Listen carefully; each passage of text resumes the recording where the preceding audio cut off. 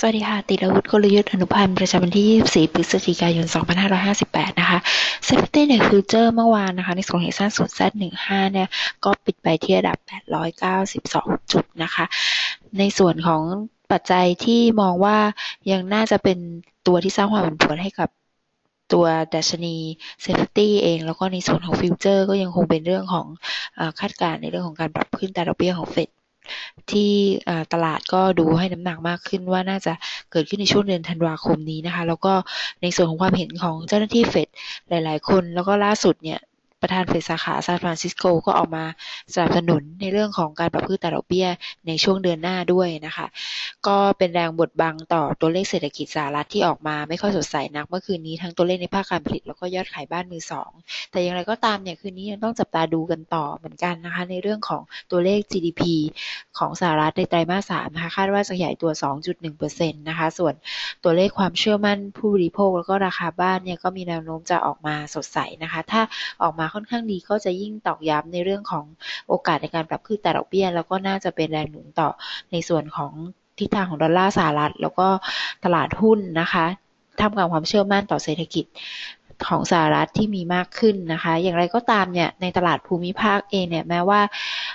จะได้แรงกดดันจากการที่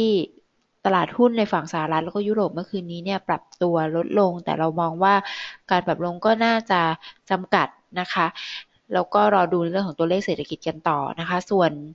ภายในเองในเรื่องของตัวเลขภาคส่งออกนะคะ วันพรุ่งนี้ก็ยังมองว่าก็ต้องดูว่าจะหดตัวต่อเนื่องหรือเปล่านะคะ ก็คิดว่ายังน่าจะเป็นแรงกดดันต่อตลาดอยู่บ้างนะคะ อย่างไรก็ตามเนี่ย ในส่วนของการเกิดเข้าซื้อของนักลงทุนต่างชาติ ต่อเนื่องเป็นวันที่ 4 ในฝั่งของฟิวเจอร์นะคะ ประมาณ 4,000 กว่าสัญญาเองเนี่ย ยังช่วยหนุนหรือว่าช่วยจำกัดในส่วนของ downside ของตัว SET50 อยู่นะคะแล้วก็เริ่มมีสัญญาณการเข้าซื้อในส่วนของตลาดตราสารหนี้เหมือนกันนะคะ ประมาณสี่พันกว่าล้านเหมือนกันนะคะ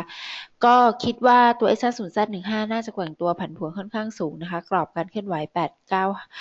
888 ถึง 97 จุดนะคะ ส่วนกลยุทธ์การลงทุนเมื่อวานยังเปิดรอยซ่าศูนย์แซดหนึ่งห้าไม่ได้วันนี้เราเปิดลองที่ 889 นะคะ เป้าหมายทำกำไร 897 จุดนะคะ แล้วก็ตัดขาดทุนต่ำกว่าจุดเปิด 3 จุดนะคะ ส่วน b l a n d Z15 นะคะ ก็ยังถือสถานะที่เปิดไว้ 1.56 บาทต่อนะคะ รอทำกำไร 1.61 บาท แล้วก็ตัดขาดทุนถ้าหากว่าหลุด 1.52 บาทค่ะ สวัสดีค่ะ